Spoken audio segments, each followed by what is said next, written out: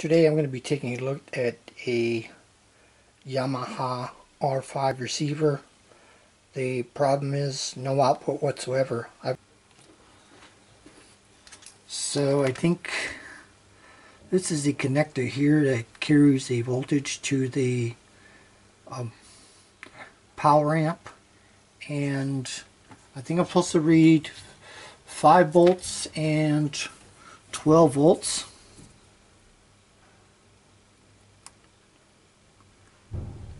DC quarters. There's the 12 volts.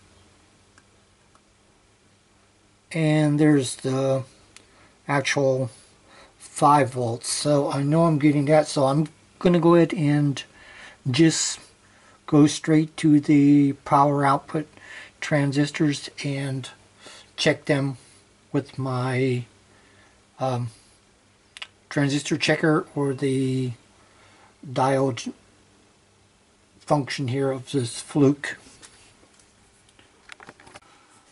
So I've actually uh, got my transistor hooked up to the, there's actually total of four output transistors.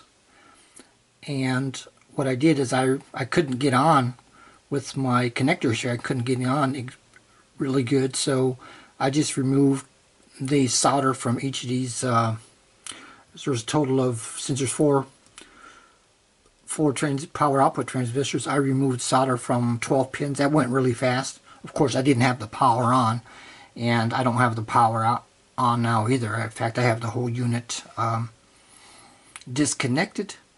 And here's what I'm reading. It says it's bad. So that's one. And now I'm going to try the next one. So here's the connector so hooked up next power output transistor. And here's my actual reading.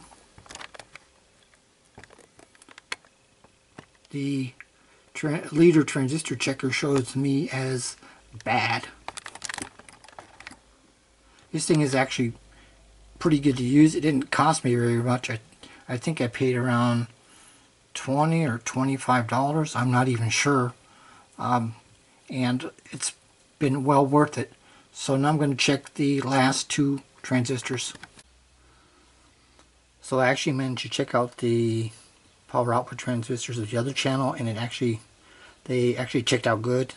In fact with the power output transistors removed from the bad channel when I go ahead and turn the power switch on I can actually hear the relay clicking now.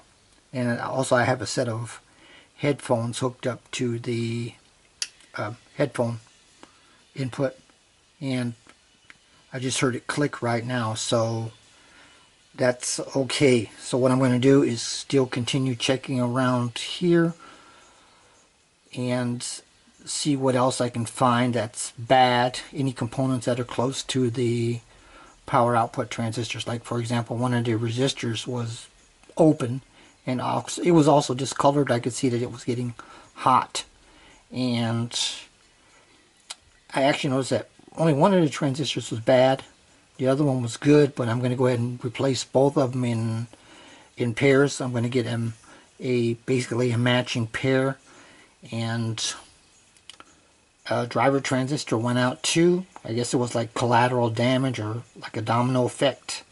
And even when I put the new transistors in here, I'm actually going to go ahead and uh, check all the resistances here to to ground and see how they compare with the ones on the other side before I actually power this thing up. And here are two of the output transistors from the component side. Looks like we got thermal paste smeared around here everywhere. So my next task is to clean this area up here. The mica insulators are still on there. So what I'm going to do is clean this up as good as I can with alcohol using cotton swab and then try to pull them off without breaking them and then clean it underneath it and on on the other side of the mica insulator because I'm going to go ahead and be applying the the thermal paste is going to go on both sides of this so I'm going to try to do it without breaking them. They break. act- They actually break pretty easily.